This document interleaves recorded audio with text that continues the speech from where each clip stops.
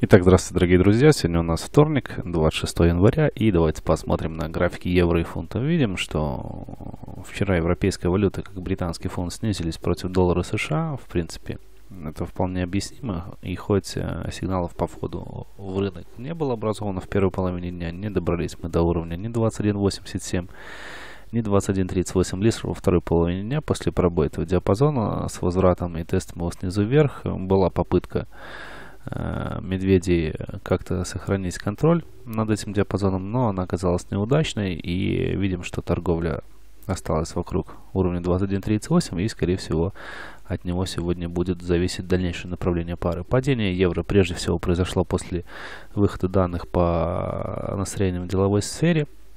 Германия по ожиданиям. Э, все эти показатели резко снизились в связи с э, продлением второй второго локдауна э, немецкой экономики из-за серьезного распространения коронавирусной инфекции. И это, конечно, скажется на экономических показателях в первом квартале. И, скорее всего, экономика Германии сократится. Это, конечно, не понравилось инвесторам. И видим вот такая вот реакция европейской валюты. Вчера состоялось также у нас выступление президента Европейского центрального банка Кристин Лагард, но в основном речь э, велась об экологии, о необходимой поддержке, выделении финансирования и не касалась денежно-кредитной политики. Э, что касается сегодняшнего дня, э, в экономическом календаре у нас запланированы отчеты по числу заявлений на получение пособия безработицы и уровню безработицы в Великобритании.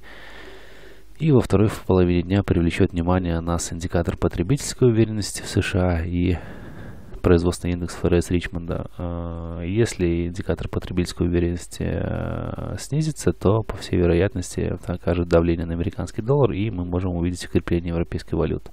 Что касается технической картины, то дальнейшее направление зависит от уровня 21.38, прорыв, э, возврат под уровень 21.38 и тестово с обратной стороны. Снизу вверх образует хороший сигнал на продажу и мы увидим дальнейшую коррекцию евро на 20.98 и выход на 20.55 откуда можно открывать длинные позиции сразу на отскок.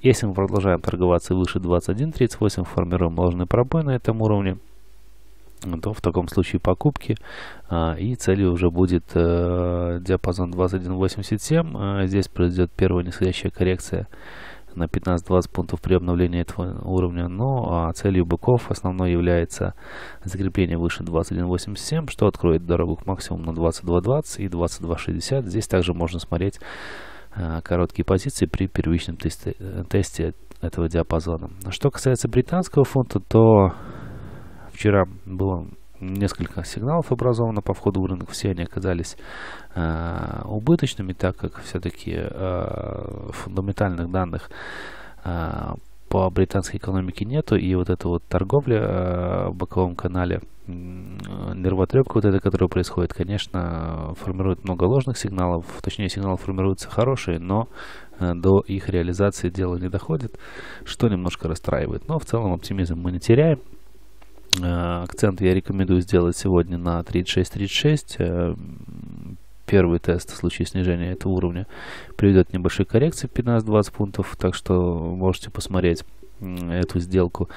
Но основной целью, конечно, быков будет возврат закрепления на 36.86, обновление с обратной стороны, сверху вниз, хороший сигнал к покупкам и э, возврат на 37.35 первоначальный тест этого уровня также придет нисходящей коррекции на 15-20 пунктов. Но если мы прорываемся выше 37.35, то идем без проблем на 37.70 и 38.05. Если никакой активности на 36.36 нету, добиваемся мы пробоя этого уровня и закрепления ниже, то в таком случае продажи и думаю быстро мы свалимся на 35.85.